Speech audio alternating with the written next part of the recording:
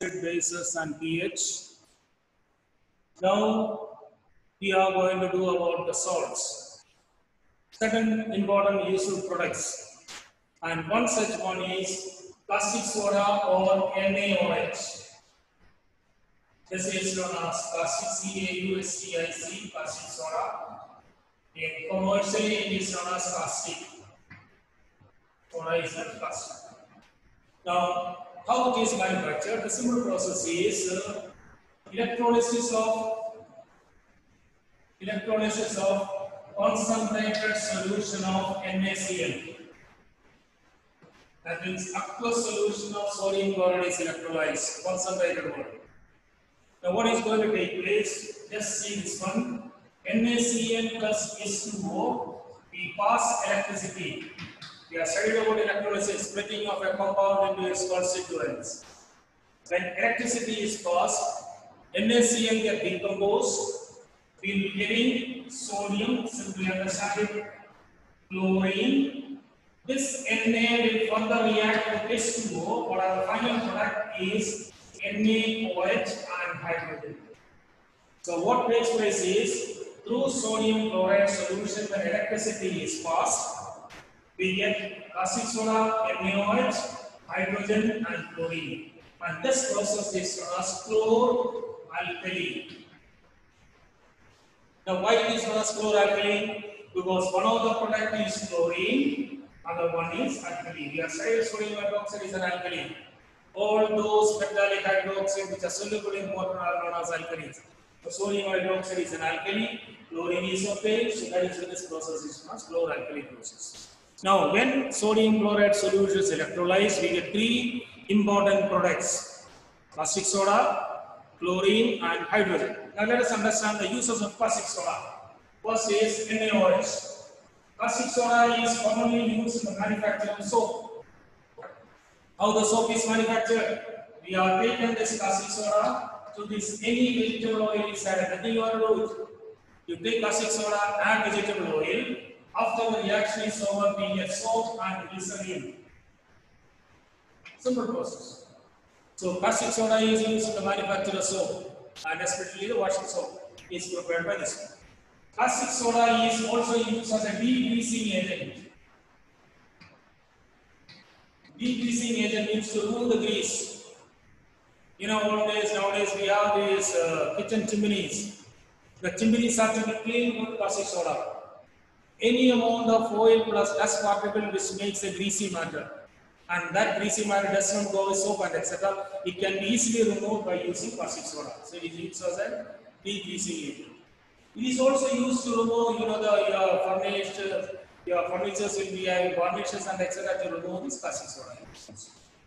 Industrially, it is used for many other one, many other manufacturer, washing soda, etc., etc. Washing soda, soap and etc. is manufactured with caustic soda. The next one is hydrogen. You know that hydrogen is the lightest gas. It has the highest calorific value, but it is used as an industrial fuel. Hydrogen is not used as a domestic fuel because of it is explosive in nature, whereas it is used as an industrial fuel, one use. Hydrogen is used in rocket propellants. Rockets are the fuel, propellants are those which are fuel plus a motor combustion. So hydrogen is used as a propellant. And hydrogen is also used in the preparation of vegetable ghee. Like you can say that dalda is to be prepared. The solid fats to be prepared, hydrogen is used. These are the important uses of hydrogen. The next one is chlorine. The important uses of chlorine. You know, the most commonly chlorine is used as a disinfectant agent. Disinfecting agent. For example, you know that your water is purified by adding chlorine to it. Certain amount of chlorine is passed to the water that gets the germs killed. So it is used as a disinfecting agent. Now, how does it function? When chlorine is passed or put into the water, when chlorine is dissolved in water, we get hydrochloric acid and HOCl. HOCl is known as hypochlorous acid. Hypochlorous acid which is an unstable acid. So this HOCl1 decompose and we get hydrogen chloride and this nascent oxygen. So HOCl that is hypochlorous acid decomposes to form hydrogen chloride and nascent oxygen. And this nascent oxygen is which does all the functions of chlorine. The germs present in water is getting killed by the chlorine. The bleaching purpose is carried out with the presence of this oxygen. So all the important functions of chlorine, chlorine cannot do anything. It reacts with water and it has to produce this oxygen. And this oxygen, what is written in this square bracket? That means it is a nascent oxygen. NaCl. Nascent oxygen. Nascent oxygen means oxygen which is in atomic form. And you know that molecules are stable, atoms are unstable. So the atom is the most reactive one. So that does all the functions. So bleaching powder is sorry, chlorine is used as a disinfecting agent purpose. Understood?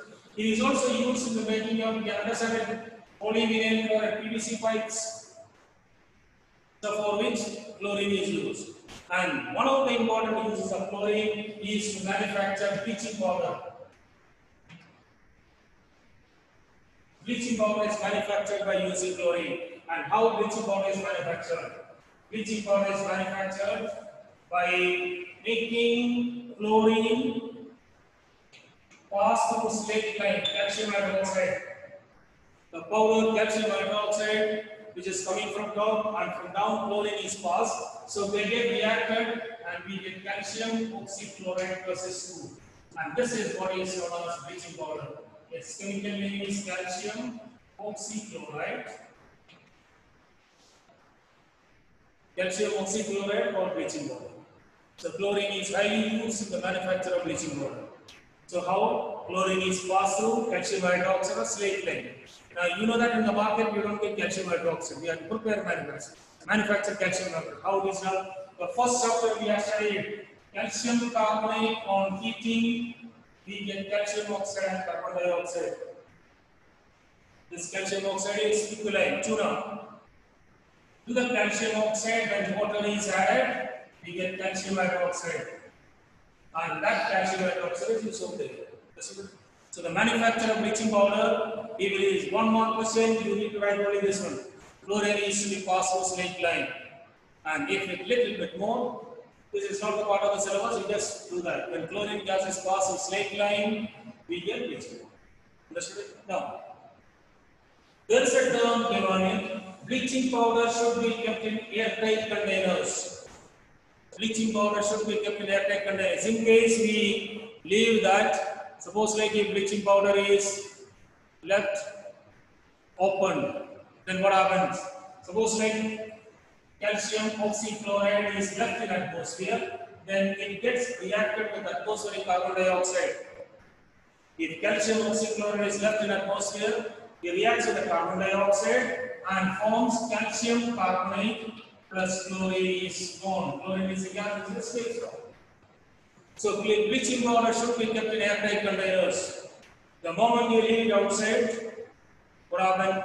Atmospheric carbon dioxide can react with it and calcium carbonate is formed and chlorine gas is lost. Chlorine gas escaped out. Understood? So that is why it should be kept in airtight containers. So you go to the market and ask for bleaching powder. The person gives you a packet and you open the packet and if it smells chlorine, then it is bleaching powder. If it is odorless, return it back. It is not bleaching powder. So bleaching powder should be kept in airtight containers because of this simple reason. The atmospheric carbon dioxide gets reacted, calcium carbonate and chlorine is. That's the reason when we open the packet, we will smell chlorine. If the packet is open, chlorine gas comes out immediately. You get the smell, therefore it is chlorine. Otherwise, it is not bleaching. Understood? Now, it is said that bleaching powder is used bleaching purposes. And how does it bleaches? Not part of the syllabus, but I'll tell you briefly. From the bleaching powder, chlorine is generated. So what happens when calcium oxychloride is made to react with diluted H2SO4? Very diluted sulfuric acid. We are getting calcium sulfate plus H2O plus carbon dioxide plus chlorine. So from the bleaching powder, chlorine is generated. Chlorine will get generated when it is reacted with diluted sulfuric acid. So what do we get? This is the one. Understood it? H2O plus Cl2. Then what happens? H2O plus Cl2, as I told you earlier, we will be getting HCl plus HOCl, and from which we get oxygen, and that oxygen does the bleaching. When it is added to the dye, it becomes colorless. Bleaching is the process of removal of colors, and dyeing is a process of adding color, just opposite. So this is how bleaching powder bleaches. You know that chlorine is nowadays being this pandemic corona, sodium hypochlorite solution is used. Sodium hypochlorite is manufactured by reacting caustic soda with chlorine. When chlorine is passed through caustic soda solution, we get sodium hypochlorite.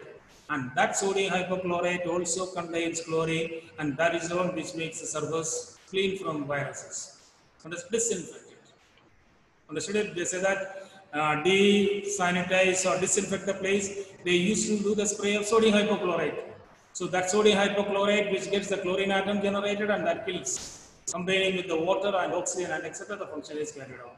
So that is how sodium hypochlorite is used. So important uses of chlorine. So we have studied caustic soda use, hydrogen use and chlorine. So one more compound what we are studying bleaching powder. Understood? The next compound is after the bleaching powder is washing soda and baking soda. After bleaching powder is washing soda.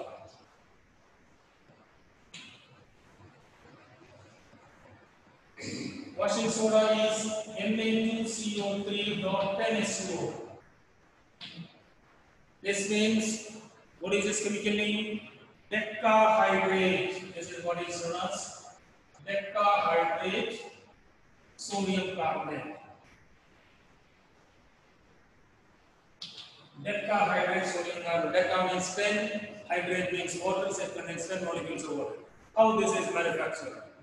The washing soda is manufactured in CRD book. It is given ammonia plus H2O plus carbon dioxide. Combining, we get NH4 HCO3. This is ammonium bicarbonate. And when this ammonium bicarbonate is NH4 HCO3 gets reacted with sodium chloride, we are getting NaHCO3 plus ammonium chloride. So we need to manufacture ammonia that is not given in the book. So understand NH3 is 2O carbon dioxide. First product is ammonium bicarbonate. And when this ammonium bicarbonate is made to react with sodium chloride, we get NaHCO3 plus NH2Cl. This is what is known as baking soda. So what is baking soda? Sodium hydrogen carbonate or sodium bicarbonate, which is obtained by making this reaction. Now, when this baking soda is heated, NaHCO3 is on heating, we get Na2CO3 plus H2O plus carbon dioxide. This is how washing soda is prepared. Remember the same thing we are studying in the first chapter. All bicarbonates on heating. Sodium bicarbonate on heating, it becomes washing soda, water and carbon dioxide. This is how washing soda is prepared. Washing soda is prepared by heating baking soda. Understood it? And how baking soda is obtained? Ammonia, water plus carbon dioxide. We get ammonium bicarbonate. Ammonium bicarbonate. So we can combine all this. We can give out this reaction. NS3 H2O CO2 plus NaCl will give NaCO3 plus NaCl. This product we can take it out. Understood it? NH4 CO3 is accumulated. So NS3 H2O CO2 plus NaCl will be NaCO3 plus NH4Cl. So this is how baking soda is manufactured and on heating baking soda we get washing soda. So this is how washing soda is manufactured. So there is a question, are these salts actually dry? Washing soda contains 10 molecules of water. This sodium carbonate is obtained further crystallized by which we get washing soda crystals. So this is how washing soda is prepared. Now there was a question asked earlier. A baker had forgotten to add a material while the cake is being baked. And he found the cake very hard. This substance he did not add because the material that is added is this baking soda. What happens when baking soda is added on heating? It becomes, it releases carbon dioxide. The carbon dioxide is the one which makes the thing fluffy, soft. So if you bake something without baking soda, it is going to be hard. You know that fermentation, like how the bread is made, fermentation process, which carbon dioxide gets released, this makes the thing soft and fluffy. Similarly, baking process, baking soda is added. So what happens on baking soda on heating? Carbon dioxide is released and that makes the thing soft and fluffy. Understood it? Now, when baking soda is added to the cake, one of the product obtained is washing soda. So that washing soda tastes like that of bitter.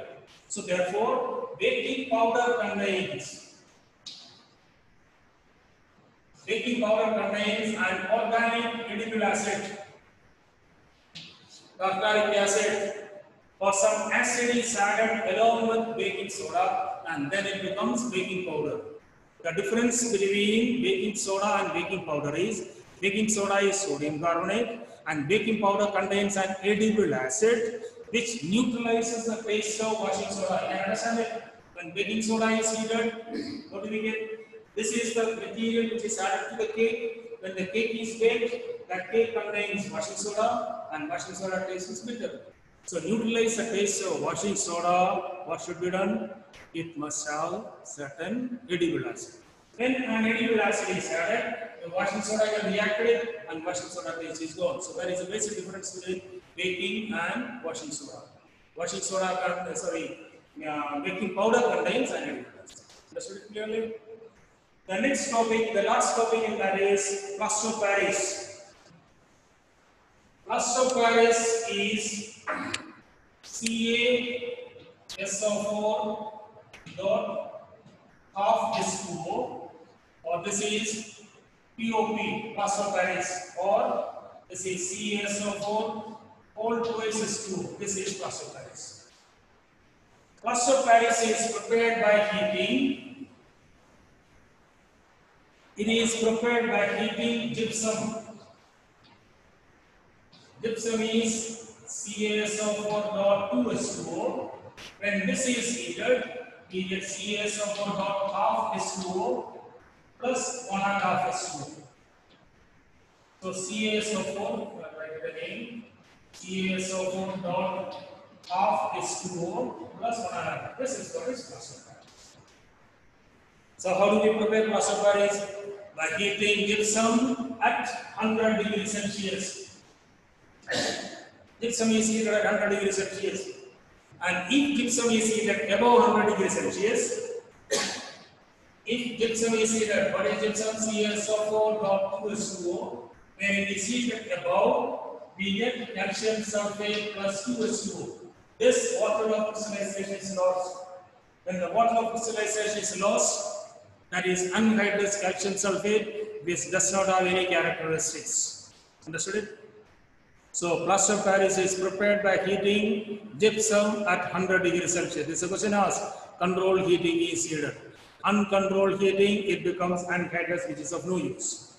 Then, to the plaster of Paris, to the plaster of Paris, when water is added, it becomes gypsum. Gypsum is a very hard material. Gypsum is a very hard material. So that is why plaster of Paris is being used in the making of statues, bandages, false roofing and etc. So what happens when water is added? It becomes gypsum. Gypsum is a very hard material, naturally occurring substance mined from the ground and which is heated at 100 degrees Celsius, we get plaster of Paris. To the plaster of Paris, when water is added, it becomes gypsum. Understood clearly? So all the property, this is another question.